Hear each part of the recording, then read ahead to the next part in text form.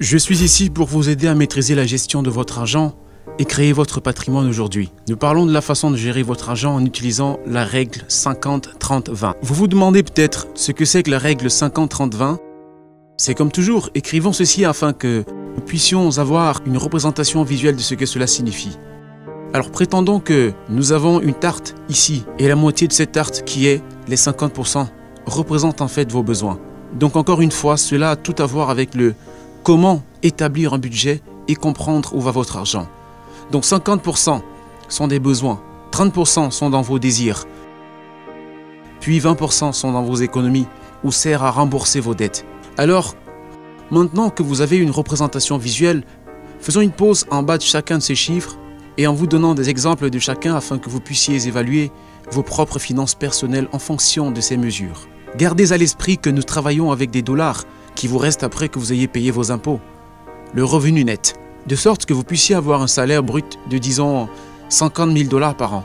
Mais après les impôts, vous n'avez affaire qu'à autre chiffre spécifique. Nous utilisons ce qui reste après le paiement d'impôts. Donc en ce qui concerne les besoins, c'est de 50%. Quelles sont les choses qui peuvent être incluses là-dedans? Alors pensons aux dépenses quotidiennes de subsistance. Donc nous avons l'épicerie, nous avons un logement ou un loyer, euh, vous avez une assurance pour la santé, euh, Dieu nous en préserve, je considérerais l'assurance maladie comme un besoin. Vous pouvez avoir des services publics, dont l'électricité, des choses comme ça, etc. La façon dont je définis un besoin, c'est fondamentalement quelque chose dont vous ne pouvez littéralement pas vivre sans. Donc, quand vous budgétisez 50% pour vos besoins, rappelez-vous que c'est ce que vous recherchez. Donc, le prochain domaine logique à aborder sera ce qui est vraiment considéré comme un désir. Et je pense que c'est là que la plupart des gens se heurtent. Ils se heurtent à la différence entre les désirs et les besoins, d'accord? Donc un désir est quelque chose qui cause un inconvénient mineur dans votre vie. D'accord? Ce n'est pas nécessairement un besoin. Du genre, si je ne mange pas ou si je n'ai pas d'abri, je mourrai. Ok? Soyez prêt à sacrifier un désir qui a un inconvénient mineur sur votre vie, comme laisser tomber Netflix, ne pas avoir euh, Hulu, ou ne pas acheter un tout nouveau grill pour faire pousser un stick. Certaines des choses qui entreraient dans cette catégorie seraient des choses comme le shopping. Avez-vous absolument besoin d'acheter de nouveaux vêtements en ce moment? Est-ce que tu vas tomber raide de mort si tu n'as pas de nouvelles paires de chaussures? Peut-être ma femme le ferait, mais je sais que je peux vivre sans. Euh, manger au restaurant. Je pense que c'est un gros problème pour beaucoup. Des gens, pour une raison quelconque, ont des modes de vie si occupés que, vous savez, qu'il est plus facile de sauter dans la voiture et d'aller chercher quelque chose à manger plutôt que de préparer la nourriture pour soi-même.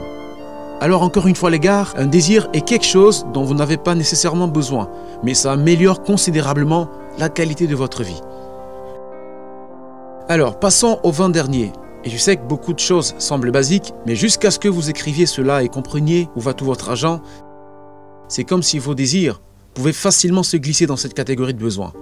En parlant de dette, parlons d'épargne, d'accord? Donc l'épargne et remboursement de la dette.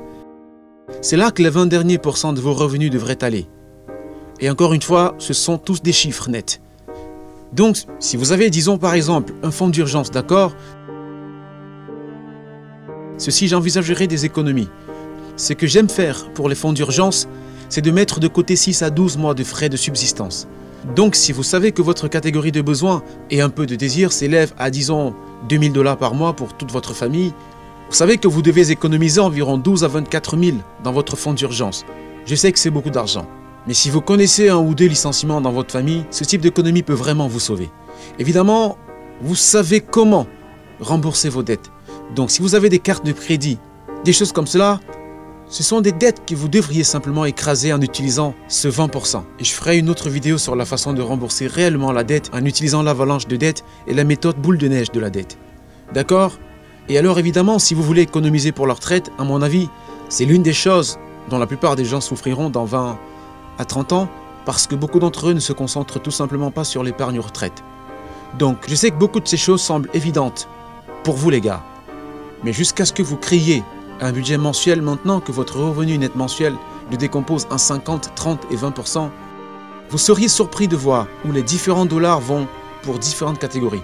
Donc à moins que ce ne soit pas un désir ou un besoin, je le mettrai certainement sous ces 20% de catégorie d'économie ou de dette. Donc, c'est à peu près tout ce que j'ai pour vous les gars.